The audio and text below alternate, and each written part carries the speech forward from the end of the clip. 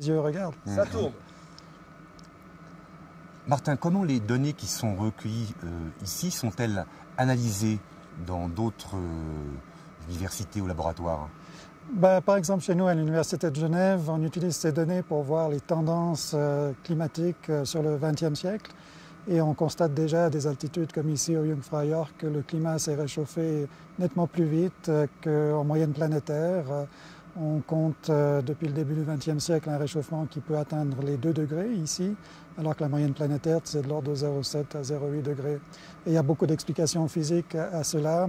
Euh, mais ce qui nous intéresse surtout, c'est à partir de ce constat que le climat alpin se réchauffe euh, probablement plus qu'ailleurs ou que dans de nombreuses autres régions, c'est de savoir comment le climat va évoluer à l'avenir. Et là, on fait intervenir des modèles de climat, ce sont des modèles de simulation basés sur la physique euh, atmosphérique essentiellement, et sur la base des émissions de gaz à effet de serre euh, que l'on estime selon les scénarios du GIEC, par exemple, on a une fourchette de réchauffement planétaire qui va s'échelonner d'ici la fin du siècle entre 2 et 6 degrés, euh, ce qui est totalement inédit dans le système climatique.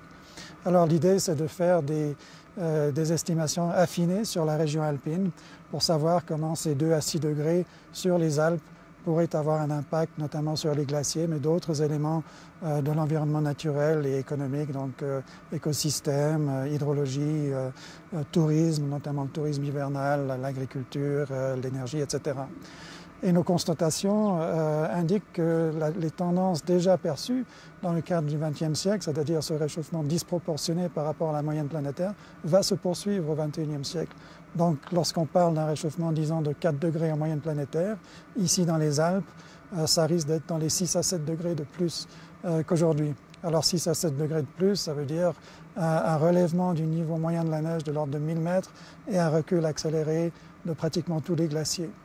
Euh, est-ce qu'on peut parler de, de, scénarios catastrophistes? Certains glaciologues prédisent, ou climatologues, la disparition de certains glaciers d'ici 30 ans. Absolument. Donc ça aussi, c'est une, un taux de disparition de glaciers qui est totalement inédit. On a eu des fluctuations dans le passé, hein, depuis la fin de la dernière grande glaciation, euh, il y a 15 000 ans en arrière, euh, avec des périodes d'avancée, des périodes de recul de glaciers, mais on n'a jamais eu une période où la fonte des glaciers est aussi générale et aussi rapide.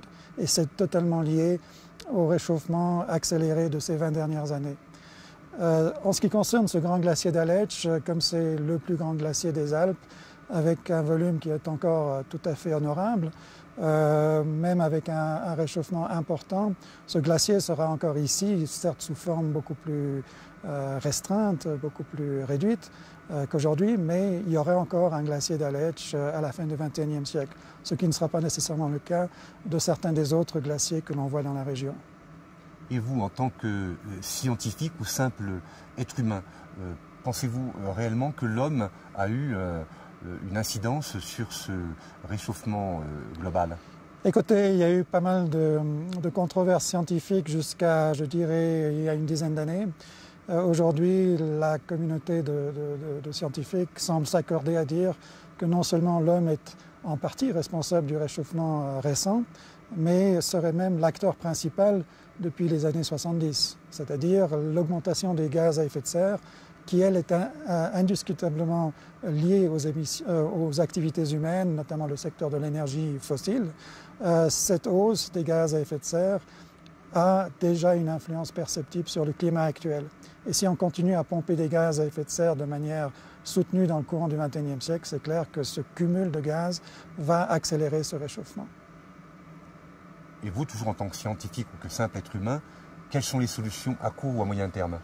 Alors écoutez, euh, ça ne sera jamais totalement à court terme parce que l'inertie du système climatique est telle que même si on prenait des actions drastiques euh, d'ici demain matin, si on arrêtait toutes les émissions de gaz à effet de serre, euh, le climat continuerait à se réchauffer par sa propre inertie, simplement parce qu'il va se réchauffer en fonction des gaz à effet de serre qui sont déjà dans l'atmosphère. Donc il faut effectivement aborder rapidement la question de réduction des gaz à effet de serre, ce qui veut dire une transformation radicale du secteur de l'énergie, notamment en tentant de s'affranchir au maximum euh, du pétrole et du charbon comme principale source d'énergie, puisque aujourd'hui à peu près 75 à 80% des émissions de gaz à effet de serre proviennent de ce secteur. Et à partir de là, on pourra voir un fléchissement de la tendance à la hausse des températures planétaires d'ici une cinquantaine ou une centaine d'années, si on agit vite. Mais dans cette période de transition, il va falloir aussi s'adapter aux conséquences qui seront assez importantes dans certaines parties du monde, et notamment dans les Alpes avec le recul des glaciers et les conséquences de ce recul sur l'hydrologie alpine. Il va falloir s'adapter à ces changements en attendant que le climat se stabilise, à supposer qu'on ait la volonté de faire quelque chose pour limiter les, émissions de gaz à effet de serre. Lorsqu'on sait qu'un pays comme la Suisse euh, vit surtout de l'eau de ces glaciers, mmh. que ce soit au point de vue énergie hydroélectrique euh, ou agriculture, euh, il y a un réel problème là. Absolument, c'est un capital qui est en train de, s'estomper. Et ce n'est pas seulement la Suisse qui est affectée, c'est à peu près tous les pays qui sont en aval du domaine alpin.